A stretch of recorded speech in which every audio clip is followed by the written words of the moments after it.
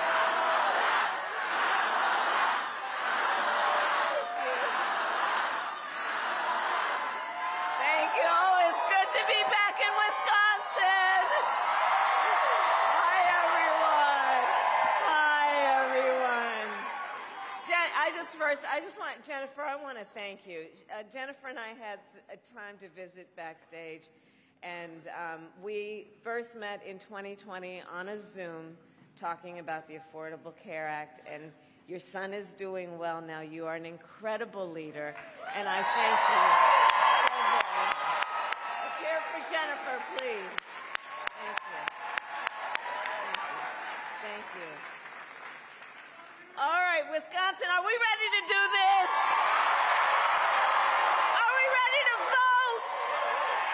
Are we ready to win? Oh, back. And I want to thank all the leaders, everyone, and thank you for taking the time out of your busy lives to be here this afternoon. You know, we are all here because we care and we know that this is about community and of all of us being here together at one time. And I thank you all. And I want to thank my dear friend Tammy Baldwin. Send her back to the United States Senate. Lieutenant Governor Rodriguez. County Executive Nelson, and the chair of our Democratic Party, Ben Wikler.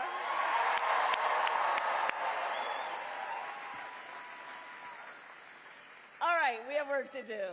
Okay, Wisconsin, four days left in probably one of, if not the most consequential elections of our lifetime. And we have work to do still. We have a lot of work to do, but we like hard work. Hard work is good work. Hard work is joyful work. And make no mistake, we will win. We will win. We will win. We will win. One of the reasons, and yes, we will win. And we will win, and we will win because we are the type of people who we know when you know what you stand for, you know what to fight for. You know what to fight for, right?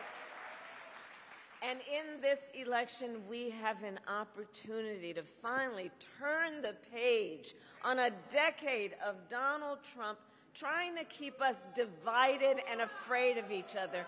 We're done with that. We're done. We're exhausted with that. And we know that's who he is, but Wisconsin, that's not who we are. That's not who we are. That's not who we are. And it is time for a new generation of leadership in America.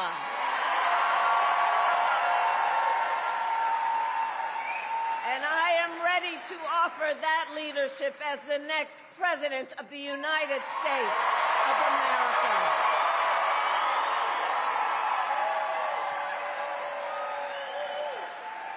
And Wisconsin, you know me, I'm not afraid of tough fights. For decades, clearly, for decades, I was a prosecutor and the top law enforcement officer of the biggest state. And I won fights against the big banks who ripped off homeowners, against for profit colleges that scammed veterans and students, against predators who abused women and children, against cartels that trafficked in guns and drugs and human beings. And I pledge to you, if you give me the chance to fight on your behalf as president, there is nothing in the world that will stand in my way.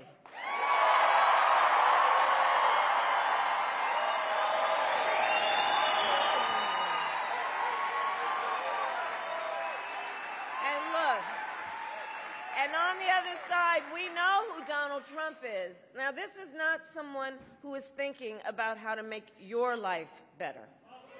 He is someone who is increasingly unstable, obsessed with revenge, consumed with grievance, and the man is out for unchecked power. He's out for unchecked power.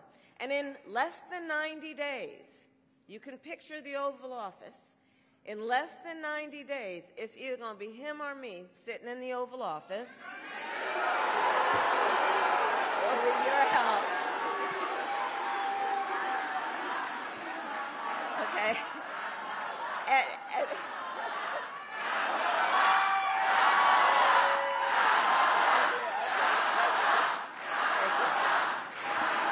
but but let's help let's help the friends and family and neighbors who are not here right now. Imagine that for a minute right?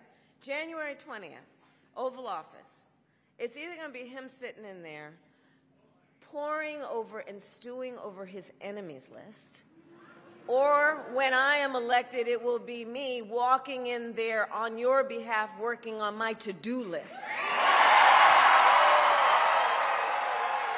Because we got work to do. Because we have work to do. And at the top of my list is bringing down the cost of living for you. That will be my focus every single day as president, including I will give a middle class tax cut to over 100 million Americans. We will enact the first ever federal ban on corporate price gouging on groceries. And fight to make sure that hardworking Americans can actually afford a place to live. And one of the things that we were talking about backstage is about the importance of people being able to care for their family members, and including and in particular their elder family members. And some of you may know, and this is personal for me, as are so many of these issues. I took care of my mother when she was sick. And I, and I know what it is in terms of taking care of someone and just trying to cook the things that they feel like eating, right? Just trying to help them put on a sweater. Trying to think from time to time, what can I do to put a smile on their face or make them laugh? It is important work, and it is work that is about dignity. It's about dignity. And if you are caring then for an elderly parent or relative, my plan is to cover the cost of home care under Medicare.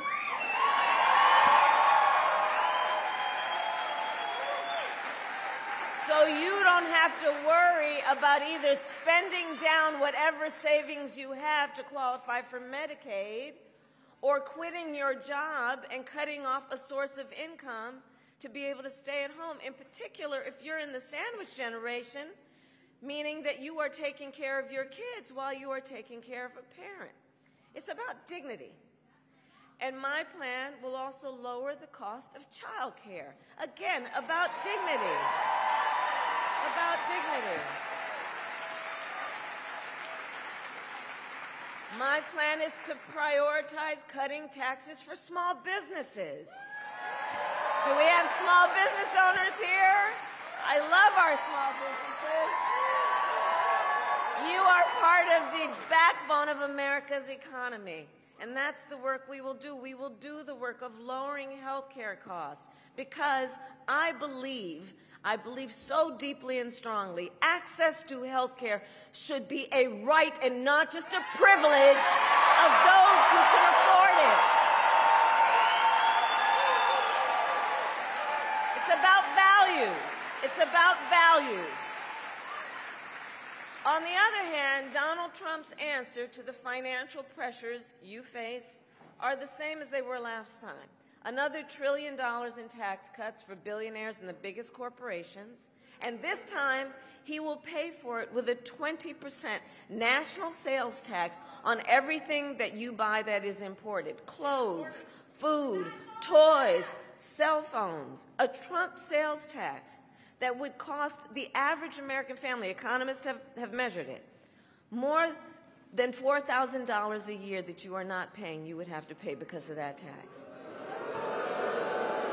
And on top of that, as we have discussed, he still wants to get rid of the Affordable Care Act, which would throw millions of people, millions of Americans, off of their health insurance and take us back to the time when insurance companies could deny people with pre existing conditions. You remember what that was?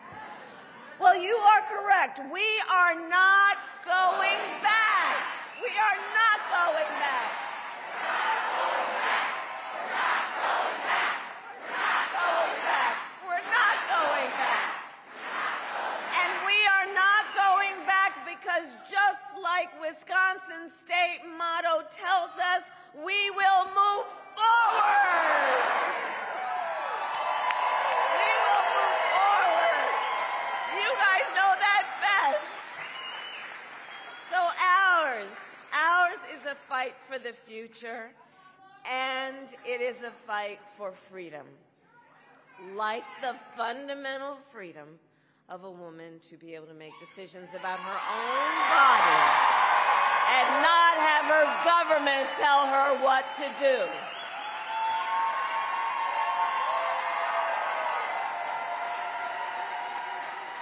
And we remember how we got here. Donald Trump, when he was president, hand selected three members of the United States Supreme Court with the intention that they would undo the protections of Roe v. Wade. They did as he intended, and now over 20 states have a Trump abortion ban. Imagine in America today, one in three women lives in a state with a Trump abortion ban. Many with no exceptions, even for rape and incest, which is immoral. And Donald Trump's not done. He would ban abortion nationwide, yes, even here in Wisconsin, were that to happen. And he would restrict access to birth control, put IVF treatments at risk, and force states, get this, to monitor women's pregnancies. Just Google Project 2025, which I still can't believe they put in writing. And let us agree one does not have to abandon their faith or deeply held beliefs to agree the government shouldn't be telling her what to do. Not the government. Not the government. Not the government.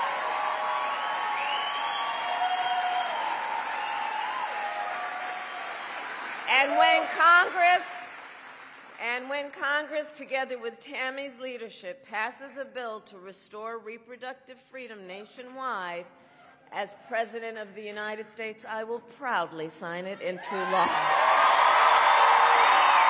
Proudly sign it into law.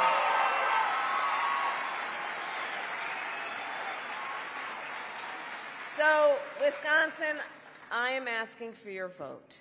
I am asking for your vote. And here is my pledge to you.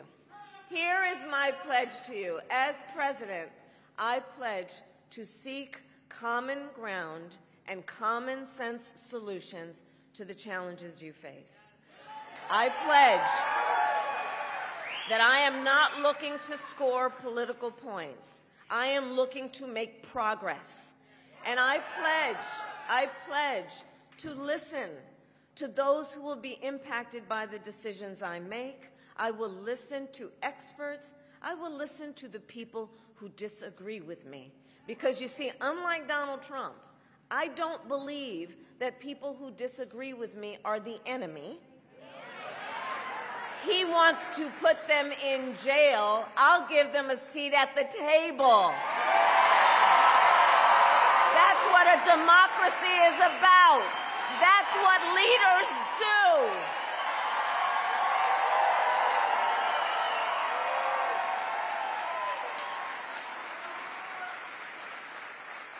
And it is my pledge to always put country above party and self and to be a president for all Americans. For all Americans. That is my pledge to you, Wisconsin. So let me ask we're four days out. Who here has already voted? Oh, wow!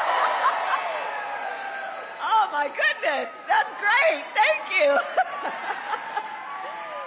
okay, well, here's what I want to ask. I want to ask a little more of you. Please talk to your friends and family and neighbors and, and share your perspective. Share, share why you have taken the time out of your lives to spend this time here when there's so many other things you could do. Let them know. Because this moment, I think, really is our opportunity to reconnect with people and remind them they're not alone and build community. And so please share with them why this election is important to you and encourage them to make their voices heard. And for anyone who's not yet voted, no judgment. but please take a moment now to just think about what your plan will be for when and where you will vote. And please go to iwillvote.com. Yes, I have a website. Um, for all the information you might need about when and where you can go to vote and where to drop off your absentee ballot.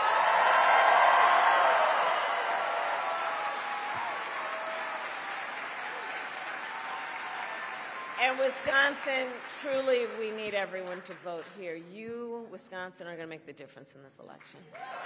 You will make the difference. You will make the difference. And so it all comes down to this. We are here together because we love our country. We love our country. And when you love something, you fight for it. And I do believe it is one of the highest forms of patriotism, an expression of our love of our country, to then fight for the ideals of our country. That's what this is about. And it is fighting for the promise of America. And I'll tell you, I have always believed in our nation's promise because I have lived it. I grew up as a child of the civil rights movement. My parents took me to the marches when I was in a stroller. And there were people there from every walk of life who came together to fight for freedom and for opportunity. Growing up, I saw how hard my mother worked to raise my sister and me and to give us the same chances that our country gave her. And I was blessed to have family by blood and family by love who, who instilled in me, you know what I'm talking about, and instilled in me the values of community and compassion and faith. And I've spent my life fighting for people who have been hurt and who have been counted out, but who never stopped believing in our country that anything is possible. I have lived the promise of America, and I see the promise of America in everyone who is here, in all of us, in all of us, in all of us. This is the promise of America. This is the promise of America.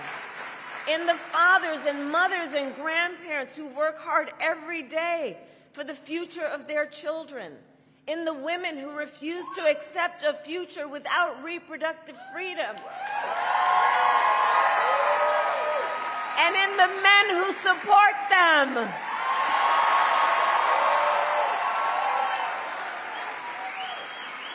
In Republicans who have never voted for a Democrat before but are putting the Constitution of the United States above party.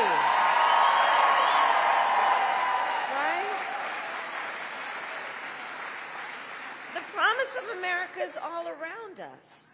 It is in the young leaders who are voting for the very first time.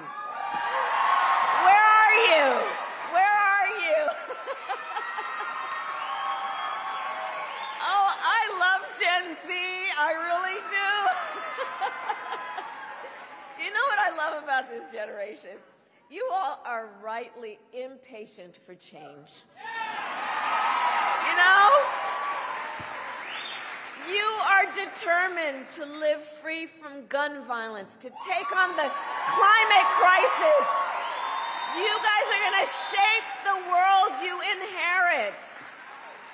And for this generation, there, none of these issues is theoretical for them. It's not political for them. For you all, it is a lived experience. It is a lived experience. That's right. And I see you, and I see your power. And I am so proud of you when I think about the future of our nation. So, can we hear it for our first time voters?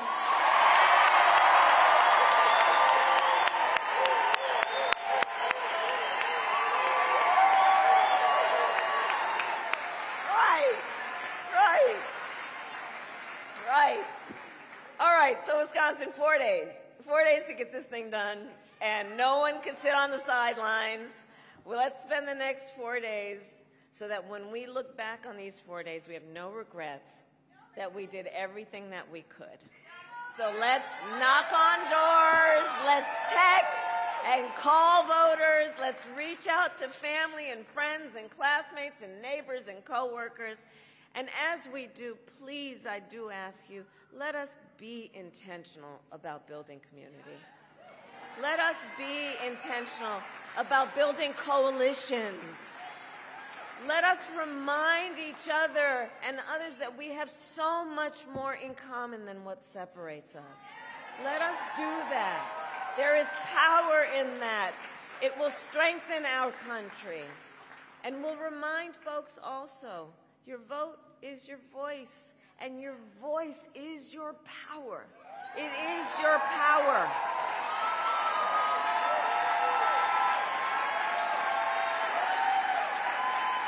So, Wisconsin, today I ask you are you ready to make your voices heard?